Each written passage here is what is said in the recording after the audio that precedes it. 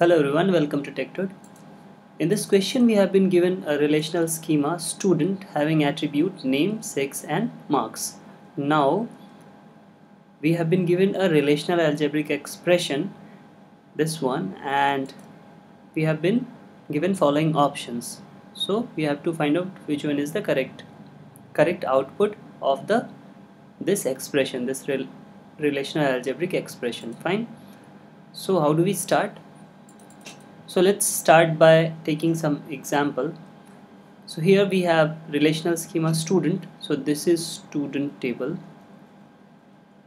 Fine.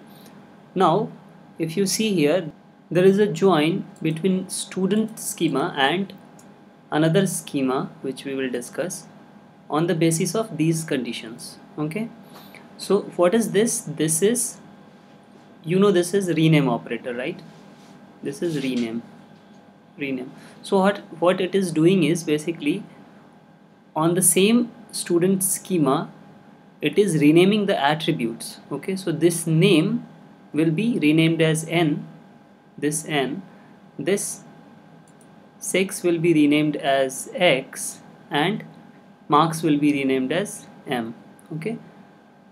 So this is again another table I'll call it student 1 fine now let's take some example. I mean let's fill up this table to understand it properly.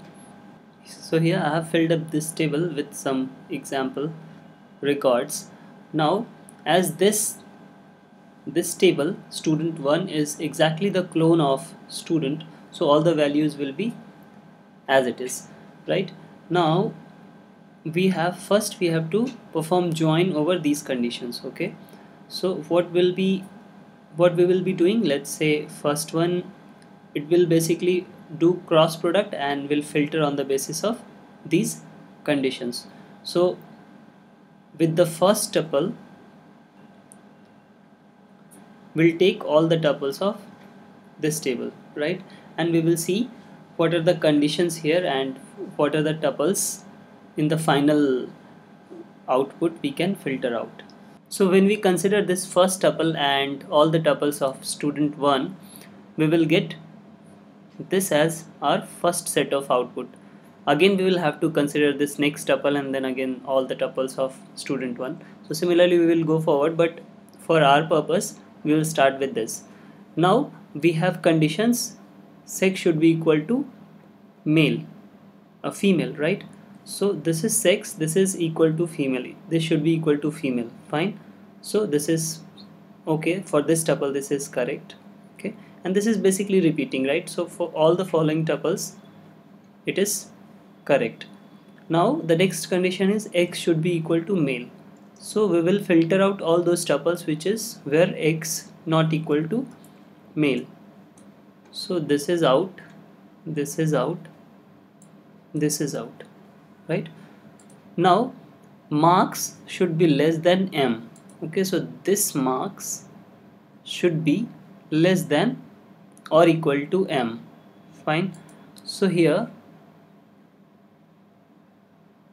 for this tuple in this case in this case marks will be 8 and this is 6 okay so this is not true. So we will eliminate this tuple Similarly, for this tuple also marks is 7.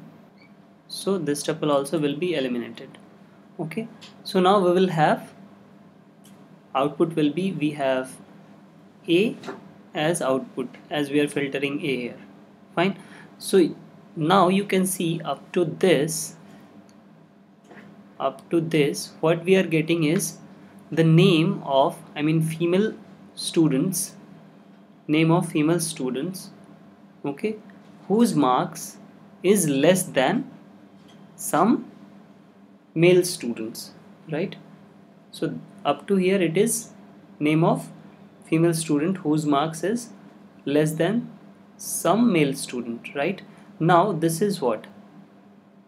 This set this set is basically this is filtering out female students right? Okay? So when you subtract this first set okay I mean the second set out of this first what will be remaining? We will get as it is this this part is so this part is female students name of female students having less marks than some male student.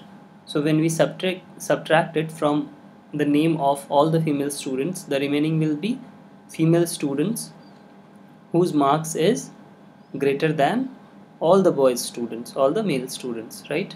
So for us this is name of girls with more marks than all the boys okay? So this is the correct option